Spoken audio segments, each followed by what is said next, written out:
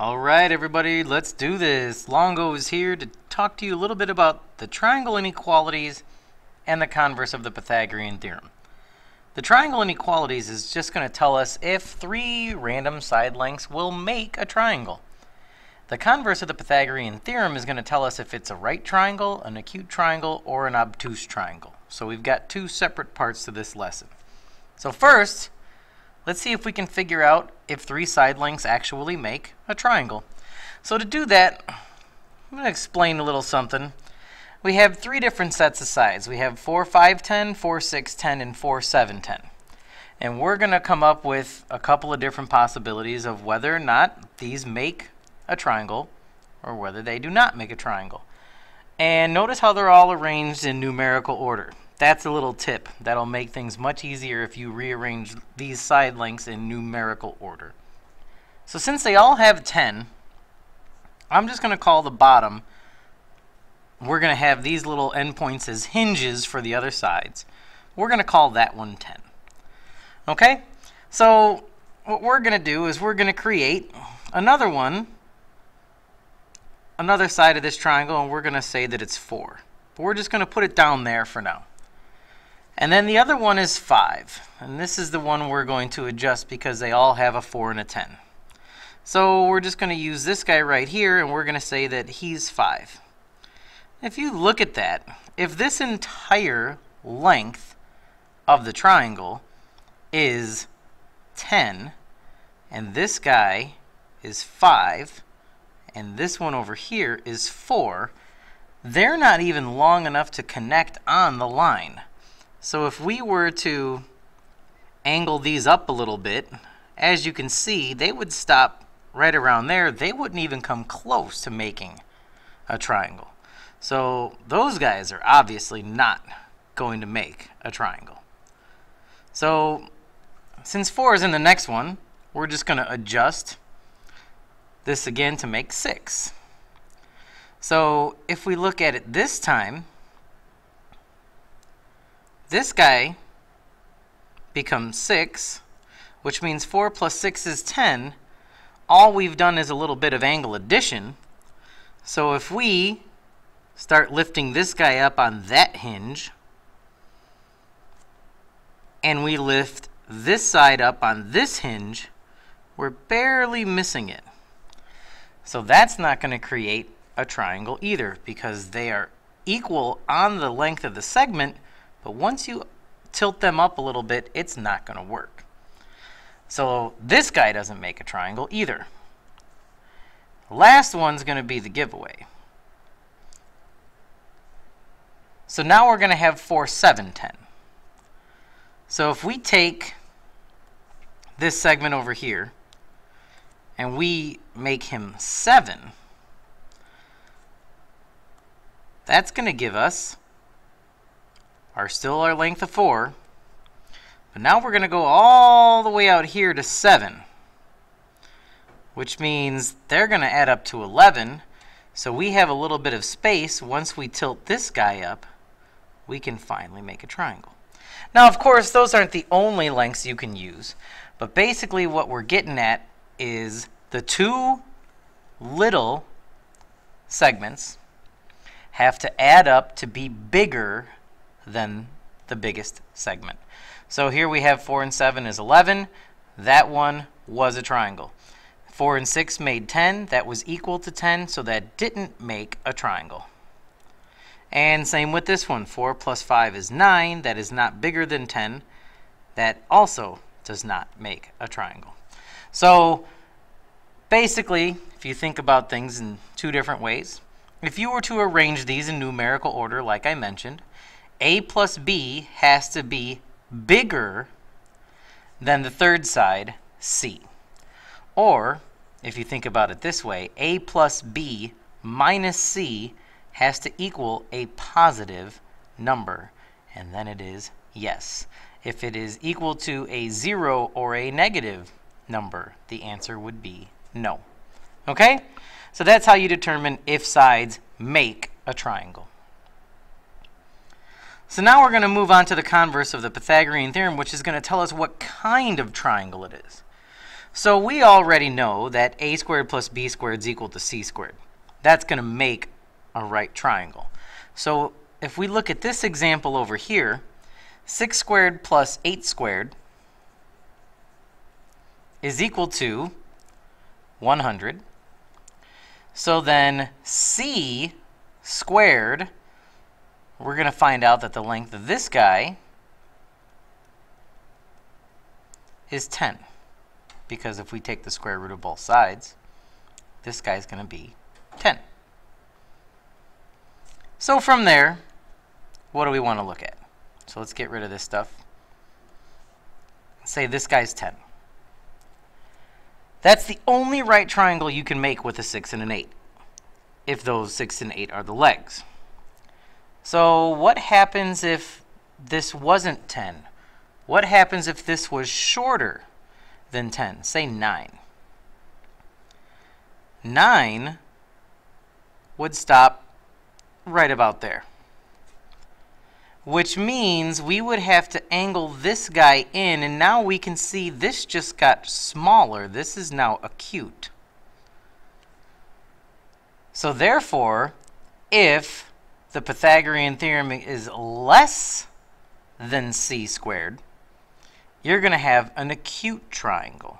So let's go think about that for a second, then let's write down a rule. If a squared plus b squared is greater than c squared, you're going to have an acute triangle. Okay? Because 6 squared and 8 squared, remember 9, that's going to give us 81. 100 is bigger than 81. That's why it's acute. And now let's go look at the last possibility. What if this was 11?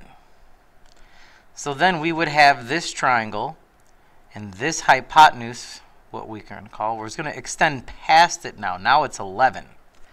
As you can see, to draw this, it now just got bigger than 90 degrees. And now it's obtuse. So 11 would be 121, this would be 100, and that's less than 121, which means that's going to make an obtuse triangle. So if a squared plus b squared is less than c squared, then we have an obtuse triangle. And of course, if a squared plus b squared is equal to c squared, we know by definition that's a right triangle. So let's come up with an easier rule instead of memorizing all of those. If you put them in numerical order again, what you need to do is you need to just do a squared plus b squared minus c squared. And if that equals 0, it is a right triangle. If it equals a positive number, it is acute. And if it equals a negative number, it is obtuse. So that's how you can use the converse of the Pythagorean theorem to classify triangles, whether or not they're acute, right, obtuse, and even, if you think about it, isosceles, scalene, or equilateral. So here's a couple of practice problems. 3 squared plus 4 squared minus 5 squared would be 9 plus 16 minus 25, which equals 0. So this right here is a right triangle, but it's also three different side lengths. So this is a scalene right triangle. If we look at the second one, we see two sides that are the same. So we know this is going to be isosceles. And now in numerical order, of course, 4 squared plus 4 squared minus 6 squared is 16 plus 16 minus 36 is equal to a negative 4. Since this is a negative number, that would be obtuse. Back from the rule we have written up here negative numbers are obtuse.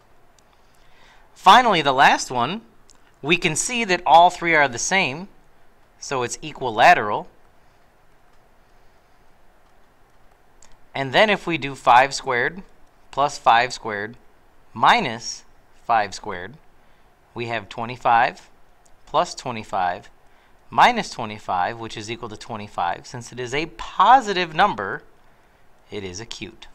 So that's how you can use the Pythagorean theorem, the converse of the Pythagorean theorem, to classify the type of triangle it is by angles and sides.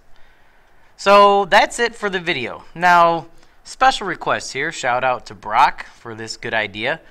If you understand the lesson, you are good to go. But if you would like to try a couple of practice problems on your own, you can try these three. The first thing I want you to do is determine if the lengths of the triangle, or of the lengths here that are given, make a triangle. If they don't make a triangle, you're done because you can't classify something that's not a triangle. If they do make a triangle, take it a step further and classify it in terms of its sides and angles. So pause the video now, try these three problems, click play when you're ready to see the answer. So let's see how you did. First thing you have to do is organize these in numerical order. And first step, is this a triangle? Little one plus the next one minus the big one. 4 plus 6 minus 8 is equal to 2. Since it is a positive number, yes, it is a triangle. So now we have to classify. Keep it in that same order. 4 squared plus 6 squared minus 8 squared is equal to 16 plus 36 minus 64. That's equal to a negative 12. Negative numbers are obtuse. So, since we have three different side lengths, this is an obtuse scalene triangle. Okay? Second one, you would have 3 plus 5 minus 10, which is equal to a negative 2. So this is not a triangle, and you have nothing else to do. We can't classify this as a scalene not triangle. It's not going to work. Last one.